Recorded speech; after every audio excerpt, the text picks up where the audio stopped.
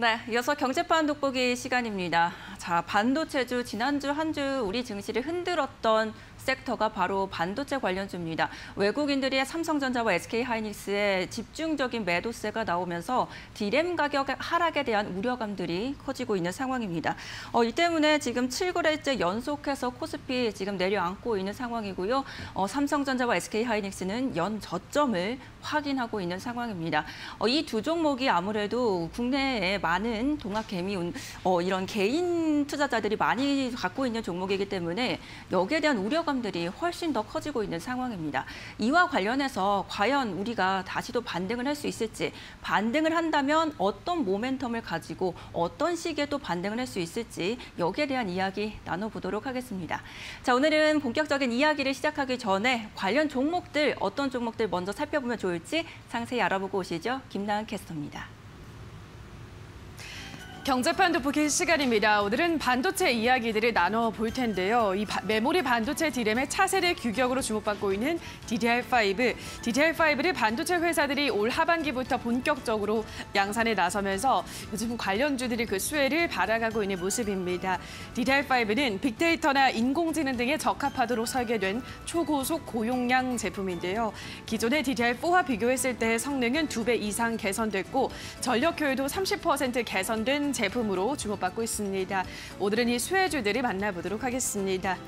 자, 먼저 심택입니다. 심택은 세계 모바일 인쇄 회로 기판 업계 1위 기업입니다. 시장 점유율 30%를 정도를 차지하고 있는데요. 이번 2분기 기준으로 매출의 70% 이상을 미세회로 제조 공법이 적용된 패키징 기판이 차지했습니다. 패키징 기판은 반도체 전기적 신호를 메인보드에 연결할 때 필요한 핵심 부품인데요. 미세회로 제조 공법이 적용된 기판은 기존 회로보다도 집적도가 높아서 DDR5 패키징 공정에도 사용될 것으로 예상됩니다. 자, 이에 따라 회사는 최근 생산 설비 증설에 속도를 내고 있는데요. 2월 기준 4만 제곱미터 수준에 머무르던 미세회로 제조 공법 인쇄회로 기판 생산 능력을 지난달 5월 어, 지난달 5천 제곱미터 더 늘렸고요. 연말까지 305억 원을 투입해서 추가로 5천 제곱미터를 더 확장한다는 계획을 밝혔습니다. 무엇보다 이 심택의 모듈 인쇄로 기판과 패키징 기판에서 위협을 줄 수 있는 신규 업체가 없다는 점 메리트로 부각되고 있습니다. 주가 연일 최고가 경신하고 있습니다. 앞으로의 흐름도 체크해 보시기 바랍니다. 다음 종목입니다. 이번에는 아비코 전자입니다. 아비코전자는 전자부품을 제조하는 사업을 영위하고 있습니다. 인덕터나 저항기를 주로 생산하고 있는데요. 이 DDR5 관련 수혜주로 주목받고 있는 것도 바로 이 파워 인덕터 수요가 늘어날 것이란 기대감 때문입니다. 파워 인덕터는 DDR5 D램의 전력 효율을 높이기 위해서 필요한 핵심 부품인데요. DDR5 규격의 D램 모듈에는 이 파워 인덕터가 필요합니다. 아비코전자가 국내에서 파워 인덕터의 공급이 가능한 몇 안 되는 수동 부품 기업입니다. 인데요 디램의 DDR5 전환으로 아비코 전자는 이 수년 동안 낙수 효과가 이어질 것으로 기대받고 있습니다. 이 디램의 세대 변환 주기가 평균 4년에서 5년이기 때문인데요. 게다가 자회사인 아비코 테크가 전기 차용 기판을 만들고 있는데 이 전기 차용 기판의 공급 단가도 올라가고 있기 때문에 이 점도 실적에 긍정적인 영향을 미칠 것으로 전망되고 있습니다. 앞으로 주가 추이도 체크해 보시기 바랍니다. 자, 마지막 종목입니다. 이번에는 ISC입니다. ISC는 반도체 후공정 테스트 소켓을 전문으로 생산하고 있습니다. 세계 최초로 상용화에 성공한 실리콘 러버 소켓 그리고 테스트 부품으로 많이 사용되고 있는 포고 소켓 라인업을 동시에 갖추고 있는데요. 지난 6월 말부터 DDR5 테스트 장비를 위주로 납품이 시작됐습니다. 자, 앞으로 본격적인 교체 사이클이 도래하면서 수혜를 받아갈 것으로 보이는데요.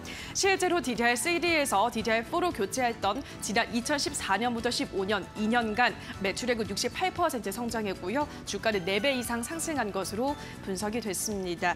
음, 이에 따라 올 한 해도 영업이익은 지난해보다 97% 성장하면서 최대 실적 달성할 것으로 전망되고 있습니다. 과연 이때만큼의 주가 상승세가 나올 수 있을지 앞으로의 주가 추이도 확인해 보시기 바랍니다. 자, 여기까지 오늘은 요즘 반도체 시장에서 각광받고 있는 DDR5 관련주부터 확인하고 오셨습니다. 네, 오늘은 경제판 돋보기와 관련해서 이제 메모리 반도체 관련 주들부터 살펴보고 왔습니다. 자, 오늘의 주제는 반도체 투톱이 추락을 했습니다. 과연 이대로 계속해서 추락세가 이어질지 더 반등의 기회가 나올지 여기에 대한 이야기 나눠보겠습니다. 자, 오늘은 이베스트 투자증권의 염승원 이사와 함께합니다. 어서 오세요, 이사님. 네, 안녕하세요. 자, 저희 반도체가 정말 겨울이 온 것 같은 느낌이었습니다. 지난주 정말 온도가 차가웠는데 어, 이사님은 어떻게 평가하고 계세요? 예, 그 이제 모건 스탠리의 그 약간 이제 안 좋은 보고서가 하나 나와가지고 그게 사실 이제 우리나라만 그런 게 아니라 미국 증시까지 좀 강타를 했다라고 좀 보시면 좋을 것 같고 마이크론도 지금 고점 대비해선 주가가 30% 이상 급락을 했더라고요. 그래서 굉장히 지금 전 세계 3대 이제 그 이 디램 업체들 주가가 좀 안 좋은 상황인데 가장 중요한 건 지금은 좋아요. 지금까지도 뭐 여전히 뭐 실적이나 3분기까지도 좋은데 문제는 지금 이제 최근에 디램 현물 가격이 좀 빠지거든요. 그러면서 이제 디램 고정 거래가죠. 이제 보통 공급 계약을 맺는 그 가격보다 이제 현물가가 낮아지다 보니까 보통 이렇게 이걸 데드 크로스라고 하는데 이게 이제 발생을 했을 때 과거에도 이제 업황이 꺾였던 경우들이 되게 많습니다. 특히 2018년도에 그런 모습들이 나오다 보니까 외국인들이 결국 이제 꺾였다. 지금 실적 주- 좋은 게 중요한 게 아니라 올해 4분기 내년까지 좀 이제 디램 가격 하락이 좀 이어질 가능성이 높다라고 좀 우려를 하고 있는 것 같아요. 그래서 거기에 대한 이제 선제적인 좀 리스크 관리로 외국인들이 삼성전자와 그 하이닉스에 대해서 대규모 좀 순매도를 좀 펼친 상황인데 사실 지난주 일주일 동안 외국인이 던진 게 제가 그 계산해 보니까 7조 원 정도 돼요. 근데 그 중에 삼성전자, SK하이닉스 두 개를 합친 게 얼마냐면 7.5조입니다. 그러니까 사실 그 두 개 빼면 산 거예요, 다른 그렇죠. 거는. 그러니까 한마디로 우리나라를 판 게 아니라 그냥 반도체를 팔아버린 거죠. 반도체 업종에 대해서 그냥 이제 내년 일- 최소한 내년 1분기까지는 좀 업황이 꺾인다. 이런 이제 우려감인데 특- 뭐 물론 이제 다른 또 전문기관에서는 또 일부 좋게 보는 시각도 있지만 모건 스탠리의 그러니까 예전에 2018년도에 또 이런 안 좋았던 걸 맞춘 적이 또 있다 보니까 시장에서 좀 파급력이 컸던 것 같아요. 그래서 어쨌든 지금 이 부분이 지난주 증시를 좀 굉장히 좀 어렵게 만든 그런 요인이 아니었나라고 좀 생각을 하고 있, 있습니다. 그러니까 말씀처럼 그 모건 스탠리 보고서 하나에 지금 휘청휘청 하고 있는데 지금 좀 좋게 보는 시각도 있다라고 말씀하셨잖아요. 네. 그또 어떤 시각이 있는지 좀 다양하게 들어보고 싶거든요. 그러니까 사실 이제 이게 모건 스탠리 이 그- 예, 부정적 보고서를 이제 촉발했던 게 사실 대만의 트렌드포스라는 이제 전문 언론인데 이 IT 가격을 예측한 데인데요. 4분기 PC 디램 가격이 이제 5% 하락할 거다 이런 좀 전망이 나왔는데 그걸 이제 빌미로 해가지고 이제 굉장히 안 좋은 보고서가 나왔었고 반대로 골드만삭스는 또 반대 의견인 게 서버 디램이 여전히 좋기 때문에 오히려 비중을 늘려야 된다 이런 시각입니다. 근데 이제 PC용 디램 가격이 앞으로 떨어지게 되면 이게 서버용 디램에도 좀 영향을 줄 수 있다는 이제 우려감이 시장이 좀 팽배한 것 같아요. 그러니까 누구 말이 맞을지는 아직 모르지만 서버용 디램 가격 여전히 좋고 수요도 좀 충분하고 또 우리나라 SK하이닉스나 삼성전자 같은 이제 그 공급사죠. 공급사가 좀 재고가 일주에서 이주밖에 없다고 하더라고요. 근데 문제는 이게 뭐냐면 서버를 이제 공급받는 서버용 디램을 공급받는 뭐 예를 들면 아마존이나 뭐 마이크로소프트나 이런 데는 여전히 지금 재고가 조금 있어요. 그러다 보니까 이제 이들 업체들이 야 우리 재고 많은데 너넨 좀 부족해도 좀 나중에 받겠다 이런 이제 마인드로 나가서 가격을 좀 가격 좀 더 싸게 하자 이런 식으로 협상력을 발휘해 버리면 서버용 디램 가격은 지금은 높지만 이제 1, 2분기 후에는 꺾여 버릴 수도 있는 거거든요. 그래서 이 서버용 디램 가지고 있는 이쪽 수요처의 재고가 얼마나 빠르게 감소하느냐가 좀 관건인 것. 근데 이게 재고가 좀 있다 보니까 시장에서 굉장히 우려를 하고 있는 것 같은데, 그러니까 현재 국면에선 뭐 크게 나쁠 거 없는데 4분기가 가장 문제인 것 같아요. 근데 누구도 이걸 뭐 예측하기는 좀 쉽지는 않습니다. 근데 시장에서는 일단 이런 예측들이 오히려 그러니까 4분기부터 꺾인다는 예측들이 더 시장을 지금 장악을 하고 있기 때문에 그 삼성전자나 하이닉스 주가가 좀 지난주에 좀 굉장히 큰 폭으로 눌렸다라고 보는 게 맞는 것 같습니다.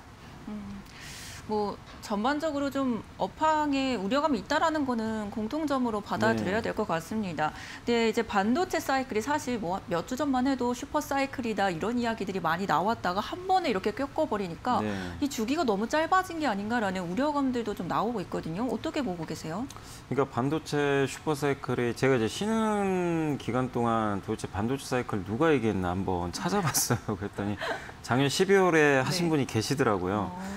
보고서가 나온 게 있어요. 슈퍼 사이클이라는 제목으로 아예 나왔는데 그때 이제 어쨌든 논리가 이제 결국 이제 디램 쪽에서 특히 이제 디램이 그 공급이 줄 거다. 왜냐하면 이제 디램 대신에 이 CIS라고 이미지 센서 있습니다. 스마트폰에 들어가는 이 카메라에 들어가는 이제 그걸로 공정을 전환하면서 좀 굉장히 좋은 어떤 슈퍼 사이클이 나오지 않을까 싶었는데 그게 지금 이제 쏙 들어가 버렸죠. 사실은 쏙 들어가고 이제 공급 과잉 되는 거 아니냐 이런 우려감이 나오고 있는데 실제로 공급 과잉 상태는 아닌 것 같고 다만 이제 수요에 대한 좀 불확실성이 좀 있는 것 같아요. PC가 꺾이고 이러다 보니까 근데 과거에 반도체 사이클이 11개 분기 동안 상승을 하고요. 보통 6개 분기 하락을 하거든요. 이게 이제 전통적인 패턴인데 그래서 되게 길어요. 상승과 하락이 좀 긴 편인데 이번에는 지금 최근에 상승 사이클이 작년 3분기부터 올해 이제 3분기까지로 지금 예정이 돼 있는데 그렇게 따지면은 작년 3분기부터니까 한 4개, 5개 분기 정도 되잖아요. 그럼 상승 사이클이 보통 11개 분기니까 되게 짧아진 거예요. 그러니까 진폭도 짧아지고 그리고 디램 가격도 굉장히 2018년도에 많이 올랐다가 이렇게 확 무너졌는데 지금은 그때에 비하면 3분의 1 정도 수준밖에 못 올랐어요. 그러니까 이게 그 산이 높으면 골이 깊다고 근데 산이 높지가 않아요, 이번에는. 그래서 이번 그 반도체 사이클은 조금 이렇게 진폭도 짧고 거기다 기간도 좀 짧은 형태로 진행이 될 것 같습니다. 그렇게 보면 여러분들이 우려하는 뭐 1년, 2년의 장기 불황이 아니라 굉장히 좀 짧게 끝날 수도 있는 거거든요. 근데 물론 이제 지나가 봐야 되겠지만 이 기간이나 진폭이 짧다는 건 여러분들이 좀 혹시라도 뭐 삼성전자 하이닉스 갖고 계신 분들 좀 장기 투자하신 분들은 너무 오랫동안 이렇게 고통받을 필요는 저는 없다고 보거든요. 2018년도는 거의 1년 이상 이게 하락 사이클이 이어졌는데 지금은 그 정도 사이클은 아니거든요. 그렇기 때문에 지금 만약에 이런 정말 사이클이 짧아진다라면 이 부분에 대해서는 여러분들이 너무 우려할 필요는 저는 없다라고 생각을 하고 있습니다. 음, 사이클이 짧아진 만큼 반등의 시기도 더 빨리 다가올 수도 있다. 네. 이렇게 차라리 받아들이는 것도 이 투자자분들에서는 좀 긍정적인 측면인 것 같습니다. 자, 그렇다면 실제로 정말 4분기부터 우려하던 대로 이렇게 상황이 펼쳐지게 된다라면 어느 정도의 타격을 받을 수 있을지 저는 여기에 DDR5의 전환 요즘 되게 많이 나오잖아요. 그런 것들은 영향을 주는 게 아닌지 뭐 그런 것들이 궁금하거든요. DDR5가 나오면 좋죠. 왜냐하면 네. 이제 교체 수요가 생기니까 그리고 내년에 또그 사파이어 레피드라고 인텔에서 새로운 또 CPU가 또 나와요. 그렇기 때문에 내년 수요는 괜찮을 것 같아요. 근데 문제는 올해 4분기인데 다만 이것도 너무 걱정하실 필요 없는 게 최근 3거래일 동안 반도체 시가총액이 43조 원 감소했고 영업이익이 22조 원 정도 이제 줄어들 걸로 아예 하향 조정을 해버렸어요. 그러니까 시가총액이 더 많이 떨어진 거죠. 그래서 4분기 디램 가격 하락도 내년 초까지 떨어진 거에 대해서는 주가가 이미 다 충분히 저는 반영을 했다고 생각합니다. 그래서 막상 4분기에 가격이 진짜로 예상한 대로 떨어져도 예상한 만큼 떨어지면요 주가는 오히려 올라가 버릴 수도 있어요. 근데 그거보다 좀 덜 빠지거나 어, 생각보다 좀 하락폭이 완만하면 주가는 급등할 수도 있습니다. 미리 선반영을 했기 때문에 그래서 4분기 좀 가봐야 되겠지만 지금의 어떤 그 가격 하락은 이미 좀 반영이 됐다.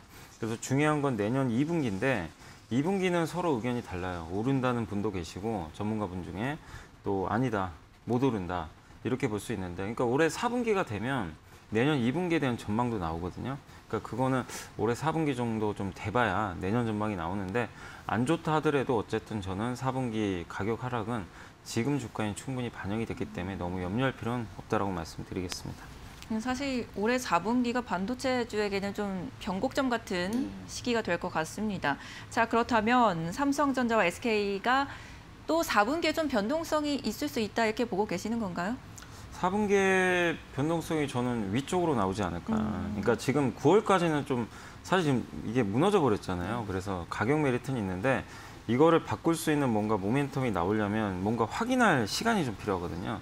그러니까 아직은 그게 9월까지는 좀 확인 과정이 필요하니까 4분기에는 아래쪽으로의 변동성보다 위쪽인데 어쨌든 기술적으로라도 한번 반등할 시기가 저는 4분기라고 보고 있어서 한 9월 중순까지는 좀 고생을 해야 되겠지만 9월 중순 이후에는 조금씩은 회복되는 모습을 예상을 하고 있습니다. 네, 그럼 음, 예, 가지고 계신 분들은 그쪽으로 한번 전략을 좀 세워보시면 좋을 것 같고요. 사실은 뭐 메모리 쪽에 대한 우려감들이 나온 거지 파운드리 쪽은 계속 견조한 네. 것 같습니다. 자, 그렇다면 우리가 파운드리 쪽에 좀 눈을 돌려보는 건 어떨까요?